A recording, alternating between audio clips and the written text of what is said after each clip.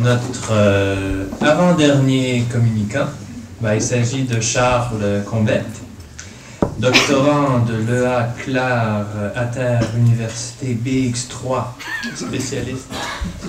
On est dans la SF, hein? C'est ça. Spécialiste de la bande dessinée, qui prépare une thèse euh, en art plastique sous la direction de Pierre Sauvanet, qui euh, porte l'intitulé suivant Héros de bande dessinée entre présence et absence. Comment rendre un héros de bande dessinée identifiable tout en permettant au lecteur de s'identifier à lui? Sa communication aujourd'hui, si elle n'a pas changé de titre, si, enfin,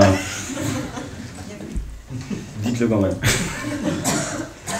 s'appelait La science comme mythologie, la, réactualisation des mythes dans Blake et Mortimer d'E.P. Euh, Jacobs, et elle s'appelle maintenant ben, en fait, c'est toujours plus ou moins le même titre. Euh, ce qu'il y a, c'est qu'en faisant ce travail-là, je suis allé euh, sur d'autres terrains et j'ai poussé les choses plus loin.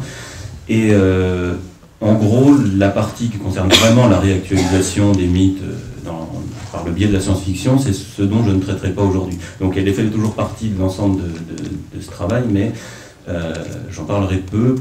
il se trouve que par chance, Julien Baudry abordait pas mal de choses qui faisaient partie de cette partie-là. Euh, tout ce qu'il a dit sur euh, les robots, les monstres antidiluviens, euh, la présence de la catastrophe récurrente, etc. Tout ça, on le retrouve dans Blake et Mortimer. Donc, je ne vais pas parler de ça, mais plutôt aller dans les structures qui fondamentales. Ah oui, il faudrait les images, par contre. C'est vrai, exact.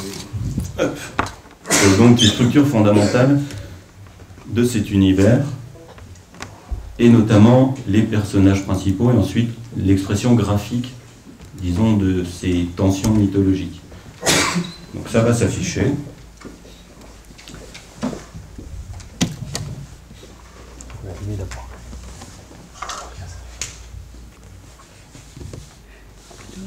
Ce qui fait du bruit. C'est un bon signe. Ouais, je commence à voir la lumière. Ça tombe bien. Donc, Aujourd'hui, donc, je vais m'intéresser essentiellement à la cosmologie de Blake et Mortimer, en fait. C'est-à-dire qu'une cosmologie qui, selon nous, enfin, va s'organiser autour de quatre points, de quatre figures majeures, quatre finalement archétypes qui forment deux couples qui s'opposent à deux niveaux différents.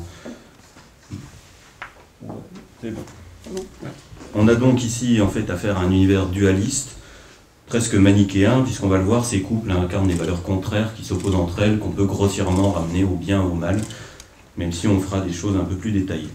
Alors le, premier couple que je vais traiter, c'est l'ingénieur et le savant fou. C'est un couple qui s'oppose, qui est constitué des deux grands types de scientifiques qu'on trouve dans Blake et Mortimer. Deux figures de savants qui partagent de nombreux points communs, mais qui divergent sur les points essentiels. Leurs conceptions de la science sont diamétralement opposées, elles n'ont pas les mêmes fondements et pas les mêmes buts. Alors le premier, on le nommera ingénieur, parce que son savoir n'est jamais déconnecté de sa mise en œuvre pratique. Et surtout parce que c'est aussi, en plus d'être un scientifique, un homme d'action. Il est, d'une certaine façon, l'incarnation d'un certain positivisme, et c'est l'héritier direct des ingénieurs de Jules Verne, des personnages comme Cyrus Smith dans l'île mystérieuse, qui, euh, par son savoir basé sur la raison, arrive à dompter la nature et à se rendre maître des situations les plus désespérées.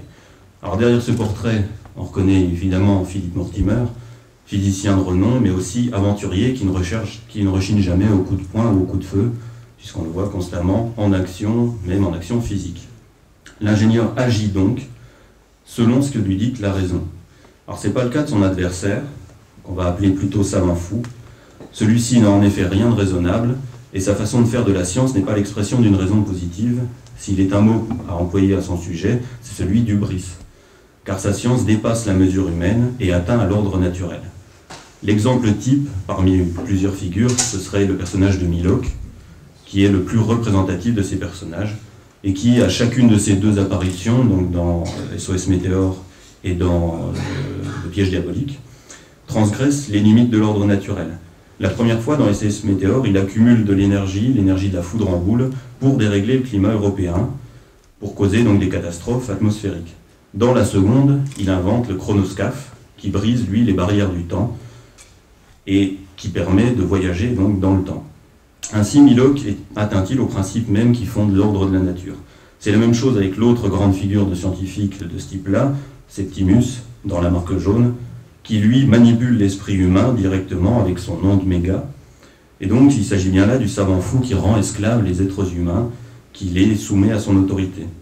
Donc ces savants fous sortent des limites humaines, ce sont des sortes de, de. Euh, ils usent de la science non pas selon la raison, comme l'ingénieur Mortimer, mais selon leur passion, puisque la plupart de leurs motivations sont de l'ordre de la rancune, parce qu'ils ont été rejetés par leur père, ou de la vengeance contre Mortimer ou contre d'autres personnages. Si Milo construit le chronoscaphe, ce n'est pas pour faire progresser l'humanité, ce n'est pas pour la beauté du geste non plus, mais pour se venger de Mortimer et le perdre dans l'abîme du temps.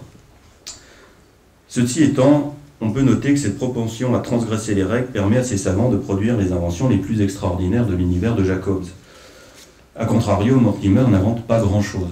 En dehors de l'espadon, simple véhicule, exceptionnel dans ses performances certes, mais sans non plus dépasser les bornes de la physique, il lui arrive même de tomber en panne, euh, il n'a rien produit de bien marquant dans les autres albums. C'est un technicien rationnel, et s'il n'y avait que des Mortimer, eh bien les albums seraient peu trépidants. De plus, on peut noter que Mortimer est un homme d'action un peu particulier. Il subit plus les événements qu'il ne les provoque. Il réagit mais n'agit que très peu finalement. C'est l'aventure qui vient le chercher et non lui qui cherche l'aventure comme pour tout héros. Mortimer est une sorte de témoin mobile des phénomènes qui s'agitent devant ses yeux. Cette tendance à contempler fait de lui le guide du lecteur dans les histoires, le point d'ancrage qui, permet au lecteur d'entrer dans l'histoire et de contempler avec lui toutes les choses merveilleuses qu'il voit. De là son, son, omniprésence, Mortimer est presque toujours là dans les albums, de là aussi sa tendance donc contemplative. Mortimer serait peut-être à rapprocher des figures prophétiques qui peuplent l'Ancien Testament, ou du genre de l'Apocalypse, c'est-à-dire quelqu'un qui voit, qui témoigne, qui nous montre sa vision. Il est l'homme providentiel qui, présent au bon endroit, au bon moment, et cela à chaque album, peut vivre l'aventure.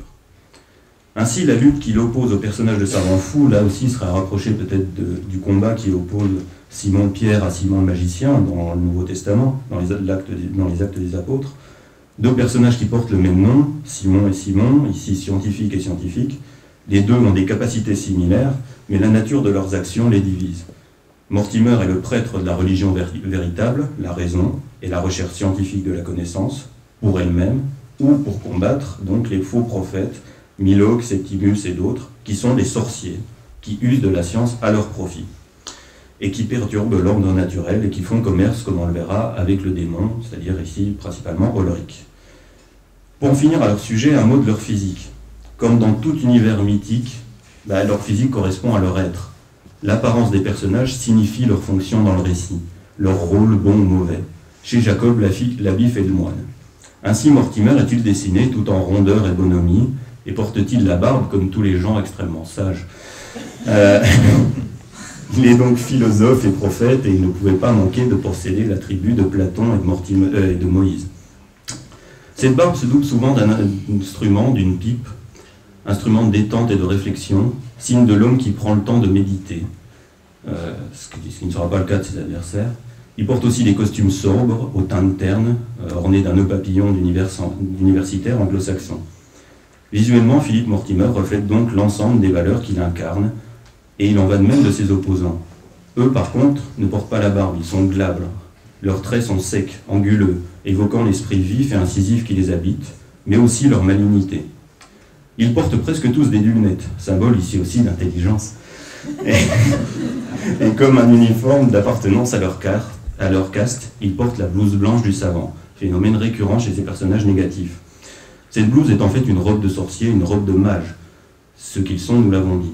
Enfin, notons que s'ils fument eux aussi, bah, ce n'est pas la pipe, mais la cigarette, le tabac de l'homme pressé et impatient qui travaille tout en fumant. Passons maintenant dans l'autre couple. L'autre couple, c'est le diable et l'ange gardien. Et derrière ces deux figures s'en trouvent donc, derrière ces deux figures de scientifiques, s'en trouvent deux autres qui leur sont irrémédiablement liées. Elles se situent en quelque sorte au-delà d'eux, derrière eux. Il s'agit d'une part d'Olric, le personnage maléfique par excellence de la série, et d'autre part de Blake, l'ange gardien de Mortimer. Alors commençons par Blake. Voyons pourquoi je peux utiliser le terme d'ange gardien. La Blake est souvent celui qui sauve la situation, et Mortimer avec elle. En fait, c'est presque son seul rôle dans la majorité des albums. C'est celui de surgir à la fin des événements, accompagné des forces de l'ordre, pour mettre fin aux agissements donc d'Olric ou de ses comparses. Le cas le plus emblématique, ce serait le mystère de la Grande Pyramide, dans lequel Blake, presque absent du premier tome, apparaît pour être assassiné euh, à la fin de celui-ci, et réapparaît seulement dans la deuxième moitié du second album. Ce qui fait que Blake est relativement peu présent, mais son retour évite le pire à Mortimer. Et même s'il était présent sous un déguisement lors des pages précédentes, comme on le voit ici, ben, il n'était pas vraiment là avant que son identité ne soit révélée. Blake est donc bien un ange, un agent de la Providence qui n'intervient que pour aider celui auquel il est attaché. Son apparition miraculeuse, en fin de récit, a tout d'un Deus ex machina qui dénoue les situations désespérées. Mortimer agit, Blake parachève son action. Cette absence relative pourrait nous amener à nous demander pourquoi la série s'appelle Les aventures de Blake et Mortimer. Les aventures de Mortimer seraient en général amplement suffisantes. Mais, outre le fait que Blake est très présent dans l'album fondateur de la série, Le secret de l'Espadon, il ne faudrait pas minimiser son rôle. Bien que n'engendrant que peu de présence, il n'en est pas moins absolument nécessaire à la résolution des intrigues pour le retour à l'ordre de l'univers. L'importance de Blake est donc considérable et l'apparition de son nom sur la couverture n'est pas usurpée. Opposé à l'ange gardien, eh on trouve le diable, c'est-à-dire Ulrich. Il est derrière la quasi-totalité des méfaits qui sont commis dans l'univers de Jacobs. C'est un démon qui pousse au mal, c'est lui qui montre la mauvaise voie au personnage, qu'il s'agisse de comparses brutaux, de scientifiques ou autres. Donc il est le corrupteur, par l'argent, par la coercition, ou en leur offrant la possibilité d'exercer leur hubris. De plus, il, fomente tout le temps des complots, il conseille, il organise des actions dont le but est maléfique. Des actions à petite échelle, comme un simple larcin dans l'affaire du collier, il s'agit simplement de voler un collier, ou bien des opérations militaires de grande envergure, comme dans Le secret de l'Espadon, où il dirige une partie de l'armée de l'Empire jaune, ou dans SOS Météor, où il prépare une invasion de l'Europe de l'Ouest, en passant aussi par le pillage archéologique dans les mystères de la Grande Pyramide. Donc il est toujours là, présent comme une tête pensante, comme un stratège, son champ d'action est très étendu, très varié, et ses compétences aussi, du vol à l'organisation d'armées. Ulrich est partout, c'est un mercenaire qui offre ce qui est sa seule véritable spécificité, sa spécialité propre, c'est-à-dire son unique métier, engendrer le mal. Ces fluctuations, qui obligent Ulrich à trouver un nouvel employeur à chaque échec du précédent, nécessitent de sa part des capacités d'adaptation très fortes. C'est pour cela qu'il change régulièrement d'identité, qu'il porte des déguisements et des masques, il se cache derrière des pantins. Ulrich se montre sous son vrai visage uniquement quand il y est contraint. Ulrich, c'est un personnage protéiforme. Comme le démon, il prend de multiples aspects et renouvelle constamment ceux-ci pour tromper son adversaire à l'infini. À cela s'ajoute son apparente immortalité. Ulrich est un trompe-la-mort extraordinaire, et à chaque fin d'album ou presque, il semble périr. Dans une explosion, sous les décombres précipités dans l'abîme, ou bien errant dans le désert, à chaque fois, l'imagine perdu, mais il finit toujours par ressurgir lors de l'aventure suivante. Comme Satan, Ulrich n'est jamais totalement vaincu. Il trouve toujours une échappatoire pour se régénérer et recommencer à nuire. Ulrich est une hydre, lui trancher la tête est inefficace pour l'arrêter définitivement. Alors la multiplicité des apparences, la capacité à changer d'identité pour renaître de la mort, eh ben, on l'a vu, ce n'est pas l'apanage du seul Ulrich. Blake aussi, lui, semble capable de mourir pour mieux ressurgir sous un déguisement dans le mystère de la Grande Pyramide. Alors faut-il s'étonner qu'il partage cette capacité? Eh bien non, Blake est un ange, Ulrich un démon. Or, les démons ne sont rien d'autre que des anges déçus. Les deux personnages vivent donc sur le même plan. Ayant fondamentalement la même nature, il semble logique qu'ils aient des capacités similaires. Leur ressemblance aidant d'ailleurs à leur physique, ils sont tous les deux moustachus. ça, c'était pour illustrer le fait que Blake ressurgit. Donc, ils sont tous les deux moustachus. Ils portent le même type de vêtements, c'est-à-dire soit du costume de ville avec cravate, soit un uniforme militaire. Et une chose seulement les distingue vraiment, et c'est évident, Blake ne pouvait qu'être blond, Ulrich ne pouvait qu'être brun. Autre point qui les rapproche, tous les deux sont militaires, capitaine pour l'un, colonel pour l'autre, et ils constituent tous les deux des armées qu'ils envoient au combat. Elles sont constituées des forces de l'ordre, des soldats, des policiers pour Blake, ou bien, euh, dans le cas d'Ulrich, d'armées étrangères ou souterraines, de mercenaires. Le trait qui les oppose vraiment, c'est leur relation aux humains qu'ils soutiennent. Ce qui différencie, c'est leur lien avec les hommes. Comme nous l'avons dit plus haut, il est possible de faire commerce avec Ulrich. Les savants dont nous avons parlé ne s'en privent pas. L'un d'entre eux est même allé plus loin, c'est Septimus, puisqu'il a domestiqué pendant un temps, grâce à l'hypnose de son monde méga, euh. Mais manipuler le diable est un jeu dangereux, et vouloir le soumettre entraîne d'en payer le prix. Septimus finit, à la fin de l'album, châtié par Ulrich pour son outrecuidance. Il est foudroyé pour avoir soumis le démon. S'il est possible de marchander l'aide d'Ulrich, par contre, celle de Blake n'est pas monnayable. Nous l'avons dit, il n'intervient que pour parachever l'action de Mortimer, pour suppléer à l'effort humain, et cela sans condition. Aide-toi, le ciel t'aidera, dit l'adage, qui s'applique très bien ici. C'est parce que des hommes de raison combattent le mal que l'intervention céleste est rendue possible et celle-ci ne se fonde que sur une chose, l'amitié qui lie Blake à Mortimer. A l'inverse, Ulrich, lui, même si on monnaie son, intervention, sera traître et abandonnera aux premières difficultés les gens qui l'ont employé. Donc on a dans un cas un lien non monnayable et définitif, et dans l'autre un lien monnayable, mais pour le moins éphémère. Alors on peut dresser un tableau qui résumera les propos que je viens de tenir dans lequel on aurait du côté de la raison, du cosmos, de l'ordre du monde, Mortimer et Blake, l'un humain, l'autre ange gardien, et puis opposé à eux, le mal sous diverses formes, puisque je ne l'ai pas dit, mais en dehors d'Olric, il y a d'autres personnages qui incarnent le démon, et ils s'appellent Magon, Sirgi ou Krishma, et ils ont la même tête que lui.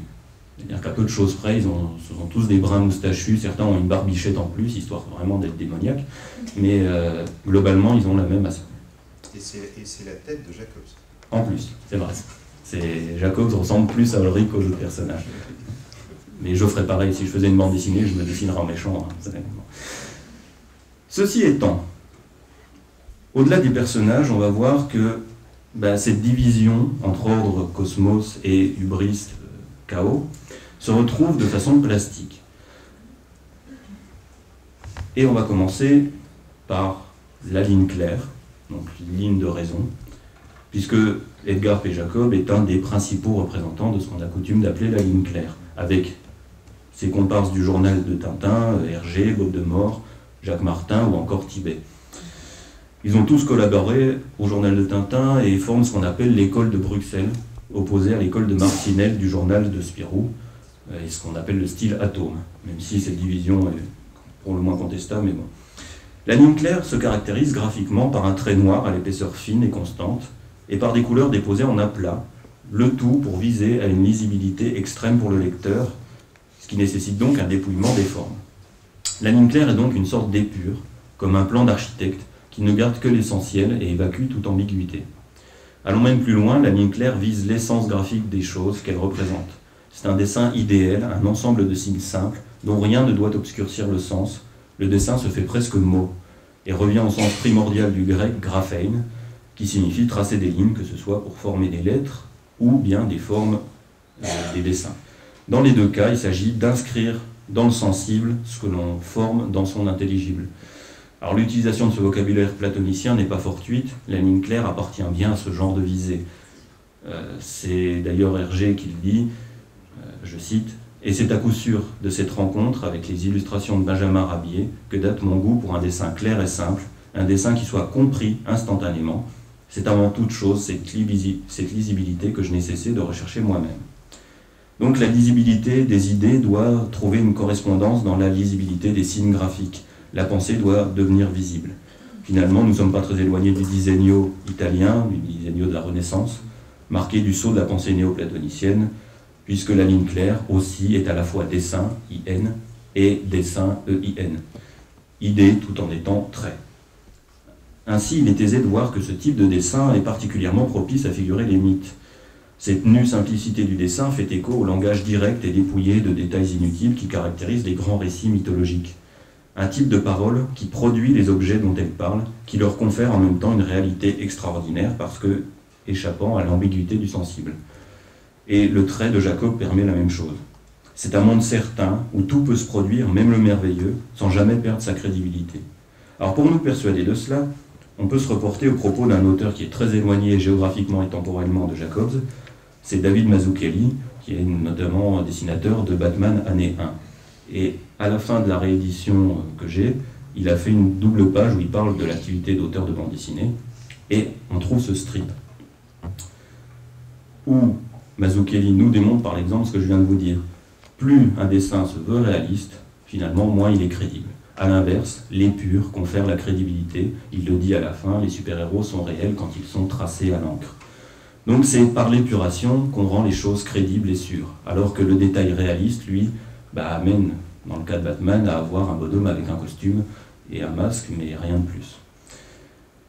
Ainsi, les inventions de science-fiction aux formes abstraites sont-elles capables de se passer de détails qui les rendraient scientifiquement plausibles? Et c'est le cas de la quasi-totalité des inventions chez Jacobs. Ce sont juste des formes abstraites assemblées entre elles, sans tous les éléments qui pourraient expliquer visuellement leur fonctionnement. Ce n'est pas tout, elles peuvent se charger aussi d'une superposition de signification et être à la fois une complexe machine futuriste et une antique créature mythologique. Alors ça, c'est les choses dont je ne parlerai pas ici, mais que j'aurais traité dans ma première partie. Donc par son abstraction, bien la ligne claire devient intemporelle, ou plutôt pantemporelle, agrégeant en elle toutes les époques, fusionnant l'avenir et le passé dans un univers mythologique éternel car hors du temps. La ligne claire possède donc une facilité intrinsèque à produire une figuration qui se fait mythe, mais ce n'est pas sa seule caractéristique. Nous l'avons dit, la ligne claire est dessin, EIN, elle est donc, dans les images produites par Jacobs, la partie qui s'accorde avec la raison. C'est celle qui, d'après nos réflexions précédentes, reflète le cosmos, l'ordre du monde. Nous verrons plus loin que la couleur a un rôle un peu différent, s'accordant tantôt avec la ligne ou bien s'entrechoquant avec elle. Le dessin est donc la part raisonnable de l'univers jacobsien, la science de Mortimer, la pensée de l'ingénieur qui trace les plans. Figure majeure de la ligne claire, Jacob s'en écarte pourtant en partie.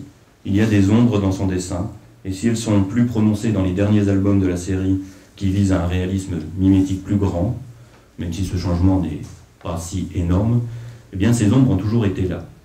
C'est là la grande différence entre Hergé et Jacobs. Chez le premier, les ombres du fantastique n'ont que très peu droit de citer. Chez le second, la ligne claire peut parfois s'obscurcir, se faire plus inquiétante et indéterminée, ou, se parer, comme nous l'avons vu, d'un symbolisme absent de l'œuvre hergéenne, et surtout se laisser submerger par de violentes couleurs. Si Jacobs respecte scrupuleusement, scrupuleusement dans tous ses albums la règle de déposer les couleurs en aplat, force est de constater que celles-ci ne sont pas tout à fait de même nature que celles d'un RG, par exemple. Elles n'ont donc pas tout à fait la même fonction. La ligne claire n'est faite que de traits, les couleurs en sont une constituante, elle n'est pas faite que de traits, les couleurs en sont une constituante importante. La plupart du temps, elles remplissent à merveille leur rôle, qui est de clarifier les formes, en renforçant leur délimitation par la ligne. Elles permettent de distinguer les différents objets figurés par autant de surfaces de couleurs qui leur appartiennent à chacun. Dans ce dispositif, la couleur a donc pour premier rôle d'aider à la définition des objets, pour augmenter leur lisibilité les uns par rapport aux autres. Alors tout cela, Jacobs le partage avec Hergé. Cependant, il nous faut noter que ces couleurs sont en règle générale beaucoup plus saturées ou beaucoup plus ternes à l'inverse que celles qui se trouvent dans Tintin, puisque Tintin était certainement dans une gamme très pastel. Eh bien, cela permet aux couleurs d'avoir d'autres fonctions, des fonctions supplémentaires. Elles ne servent pas uniquement à déterminer les objets, elles ont également une fonction expressive. Ainsi, lorsque le récit le nécessite, les couleurs changent, deviennent plus vives ou plus sombres, et surtout s'écartent d'une velléité réaliste, selon deux visées. Dans le premier cas, il s'agit, comme on le voit ici, de générer une atmosphère, souvent de mystère ou d'étrangeté fantastique. C'est alors un ton qui domine et colore le récit. Ce procédé atteint donc à la fonction première de la couleur qui est de distinguer, de différencier les objets, pour au contraire les associer, les assimiler les uns aux autres. La couleur déborde, submerge les lignes pour nier les limites qu'elle figure d'habitude. Dans ces moments, la couleur brise donc l'ordre du monde en mélangeant tout, elle dérègle la ligne claire en rendant les choses plus indistinctes. La clarté disparaît, le monde est contaminé par l'ubris. L'environnement représenté est alors unifié, baignant dans une seule teinte, productrice d'une atmosphère de mystère ou de danger, comme ici dans SOS Météor, où Milok dévoile ses installations de contrôle du climat. C'est donc dans ces moments-là que la couleur devient signifiante plus que les objets qu'elle recouvre. Et sa signification est d'ordre expressif. Il s'agit d'exprimer par la couleur un sentiment particulier et de donner au récit une tonalité particulière. Second cas, le but est alors de produire un chaos par la couleur. Il s'agit alors non plus d'unifier, mais au contraire de séparer à l'extrême. Pour cela, Jacobs procède en choquant les couleurs. D'une certaine manière, il pousse à sa limite la logique de la ligne claire, en utilisant les couleurs pour différencier à l'extrême les éléments présents dans les cases, comme on le voit ici. Nous avons dit précédemment que les tons sont pastels dans le travail d'Hergé, et cela leur permet à la fois de séparer tout en ne nuisant pas à l'unité du monde. Bien cet équilibre, dans des pages comme celle-là, Jacobs le défait par des couleurs vives et variées, incompatibles entre elles. La différenciation est alors radicale, les objets se heurtent, les couleurs brisent le monde. Cela se produit essentiellement lors des moments de catastrophe, comme à la fin du secret de lorsque les Alliés gagnent la guerre en détruisant le palais de Bazam Dandu, ou lorsque les, les lois du monde sont brisées, comme c'est le cas lors des voyages dans le temps du piège diabolique. Notons que ces catastrophes, ces désordres démesurés, sont souvent le prélude à un retour à l'ordre cosmique. Les convulsions du monde, les cataclysmes sont les moments lors desquels le mal est vaincu. Ce sont les signes avant-coureurs de sa chute. Ils sont la tempête qui précède le calme et souvent la fin de l'album. Ainsi, dans les deux cas, on le voit, ce sont les couleurs qui prennent le contrôle de la figuration et qui portent le sens du récit. Les couleurs, par leur modulation, peuvent accompagner l'ordre raisonnable du monde, ou bien le submerger du brise pour le rendre incertain, ou bien le rendre chaotique pour le désunir. La couleur est chez Jacob une forme primordiale qui ne s'oppose pas toujours à la raison incarnée par le dessin. Elle est plutôt une sorte d'énergie, enchaînée habituellement par la ligne, mais qui parfois lui échappe, produisant des effets graphiques propres à Edgar Pierre Jacob. Lignes et couleurs sont donc chez lui les incarnations plastiques des deux principes fondamentaux qui régissent sa mythologie, la raison et l'ubris, dont nous avons vu qu'elles conditionnent les fonctions et les relations entre les personnages. Les aventures de Blake et Mortimer constituent donc un monde dualiste, un monde d'opposition et de lutte qui prennent corps tant narrativement que graphiquement.